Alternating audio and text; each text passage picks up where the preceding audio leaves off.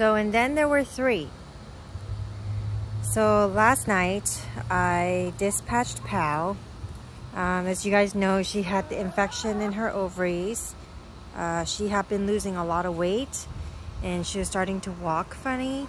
She looked really uncomfortable. Um, she wasn't laying eggs and you know, I just, from what the vet told me, he was like, it's better and more humane to just dispatch her than to leave her be.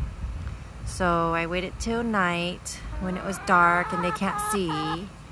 And um, yeah, it was all right. I mean, Kong. I just fed him bananas. I have banana peels in my hand. And it looks like she's about to attack me for it. But I don't know if she would eat banana peel. And try. But yeah, basically there's just three of them left now.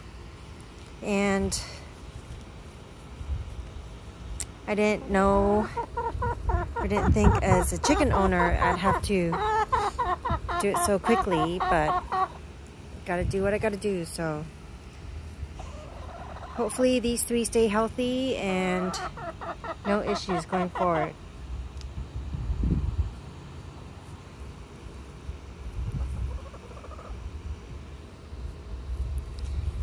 So noisy. Are you gonna eat banana peel?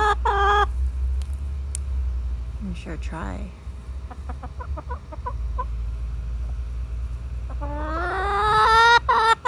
It's so loud.